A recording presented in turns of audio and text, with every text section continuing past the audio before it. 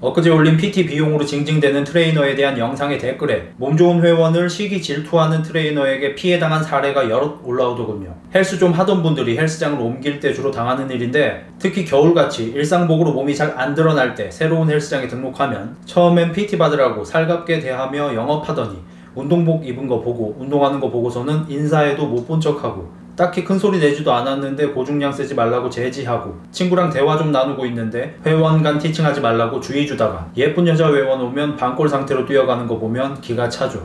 저도 겪어봤습니다. 저는 못된 사람을 보면 그냥 욕하고 마는 게 아니라 저게 왜 저지랄 할까 이유를 알고 싶어 하는 호기심쟁이고 그것들에 대해서도 나름 방구석 심리학으로 분석해봤습니다. 우리가 정치인들을 보면서 썩었다고 욕하는데 사실 그보다 더 썩어 빠진 데가 흔합니다. 별것 아닌 완장찬 사람들, 아파트 통장, 부녀 회장이나 어디 사모임 회장들부터 헬스 트레이너 같이 문턱 낮은 선생 자리에 앉은 사람들이죠. 영화, 드라마 같은 매체에서는 압도적 강자의 만행을 자주 다루지만 실제로 우리가 겪는 힘에 취해 정신 나간 짓을 하는 사람들은 그렇게 태어나서 처음으로 힘을 갖게 된 보통 사람들입니다. 진짜 강자는 여유와 관대함을 가질 수 있지만 가짜 강자는 강한 자존심으로 부족한 능력을 메우려 하고 자격지심까지 있어서 센 척하고 대우받지 않으면 불안해하고 무시당하지 않으려고 항상 가시를 세우고 있습니다. 해서 남을 이끌어 본 경험이 있는 사람이 힘을 얻어도 좀 낮고 별 볼 일 없던 사람이 힘을 얻고 나서 미쳐 날뛰는 경우가 더 흔합니다. 이게 헬스판에서도 적용돼서 유명 트레이너, 보디빌더 중에는 운동 선출이 많습니다.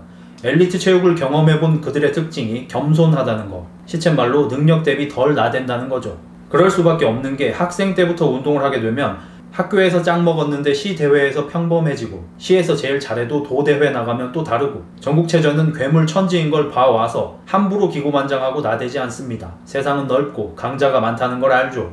심지어 한 자리에서 top of top을 찍어도 다른 분야의 강자들을 만나면서 자신과 또 다른 노력을 한 것을 보고 배우며 제2의 인생을 설계하기도 합니다. 근데 여러분이 만나는 트레이너들은 어렸을 때부터 운동을 하거나 전문적으로 체육을 전공한 사람이 아닌 그냥 헬스장 다니다 트레이너가 된 경우가 많죠. 살면서 한 번도 강자였던 적이 없는 그들이 헬스를 하면서 몸이 커지고 PT를 하며 큰 돈을 벌고 선생님 소리 들으면서 태어나서 처음으로 그 자그마한 힘과 권력을 가지게 되면서 그걸 주체를 못합니다.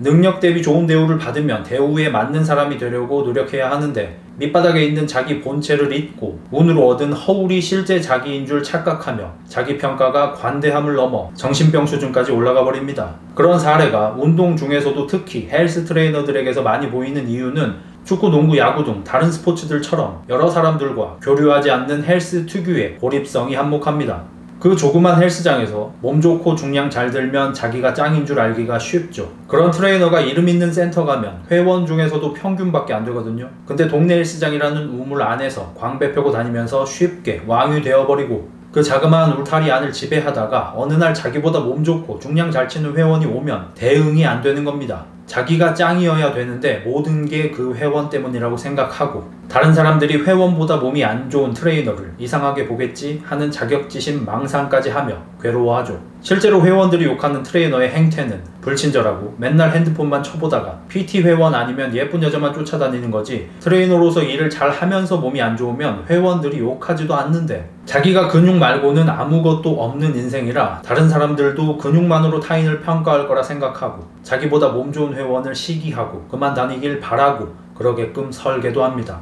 시끄럽대서 고중량도 네거티브로 조용히 내려놓는데 소머즈 빙의에서 그래도 시끄럽다고 하지 말라고 제지하고 회원 없는 시간대인데 원판 많이 쓰지 말라고 주의 주고 닫고 나오는데도 땀 많이 난다고 뭐라고 하고 일부러 기분 나쁘게 불친절하게 구는 등 못살게 굴어서 그만 다니게 만들죠.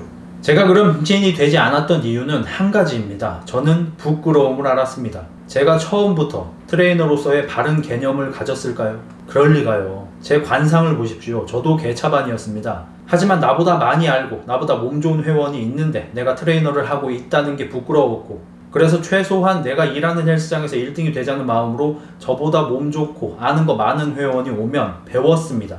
회원에게 음료수 사다 주고 보충제 말아주고 중량 칠 때 보조 잡아주면서 배웠고 헬스 커뮤니티에 글을 썼다가 다수가 틀렸다고 하면 제가 가진 개념을 고쳐 나갔습니다. 실수를 통해 배워 나갔죠. 근데 정말 많은 트레이너들이 부끄러움을 모르고 현실에서 도망칩니다. 내가 나아져서 상황을 바꿔야 하는데 상대를 끌어내려서 상황을 바꾸려 하죠. 그들이 흑자일스라는 채널을 싫어함을 넘어 분노하는 이유도 그겁니다. 우물 안에서 행복한 미진이었던 그들이 실제로는 어떤 위치에 있고 어떤 평가를 받는지 말을 해버리는 겁니다. 제가 말한다고 실제 그들의 위치가 바뀌는 게 아니죠. 사실은 지들도 알고 있는 걸 아몰랑 하고 있는데 제 영상을 보고 눈먼 회원들까지 눈을 뜰까봐 겁이 나고 그걸 반박하고 싶지만 할 사실이 없거나 할 지성이 없어서 분하죠. 제가 한창 3류 트레이너들을 깔 때 당신이 이 영상을 보고 화가 난다면 여기에 속하기 때문입니다 라는 말을 했었는데 거기에 댓글로 무슨 일침을 날린답시고 흑자 게저스가 너는 개의 자식이 아니니까 기분 안 나쁘지? 이딴 댓글을 달고 있습니다. 이게 지금 대한민국 헬스 트레이너의 평균 지능입니다.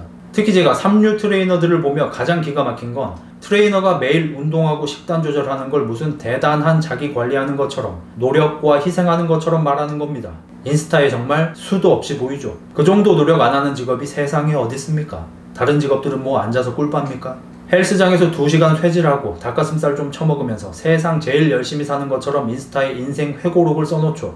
학생 때 노력해 본 적이 없으니까 수능 공부하는 학생들이 얼마나 열심히 사는지 좋은 직장 구하려고 노력해 본 적이 없으니까 취준생들이 얼마나 치열하게 사는지 모르고 그냥 쳐 놀다가 운동 좀 해서 트레이너 되고 주제 넘게 시간당 5만원씩 받으며 PT 하면서 자기가 열심히 살아서 성공한 건 줄 착각하고 회원들이 회사에서 학교에서 힘들게 일하고 공부하고 나서 헬스장에서 운동하는 것과 지는 직업이라 운동하는 것을 비교해서 자기가 회원들보다 더 열심히 운동하고 더 열심히 식단하고 몸이 더 좋으니까 자기가 더 열심히 사는 사람이라고 착각을 합니다. 착각도 병이다 라는 말이 딱 이겁니다.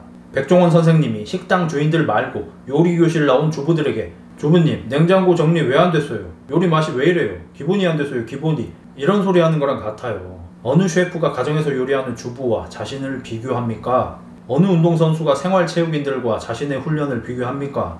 오직 헬스만 직업으로 운동하는 사람들이 일반 회원과 자신을 비교하며 우열을 가리고 회원들을 업신여깁니다. 헬스라는 운동이 다른 운동들과 다르게 직업으로 삼는 사람과 취미로 하는 사람이 한 공간에서 운동하죠. 축구, 농구, 야구 선수라면 일반인들과 훈련할 일이 없는데 헬스는 한 헬스장에 보디빌더도 트레이너도 일반인도 함께 훈련을 하니 생각이 없는 트레이너나 빌더들이 회원들과 자신을 비교해서 자뻑하고 그런 무지성으로 쌓은 기고 만장은 무개념으로 발전할 수밖에 없습니다. 지식은 외워서 말할 수 있지만 개념은 일관된 언행에서 표출되는 거라 본인이 정말로 그렇게 생각해야 가능하죠.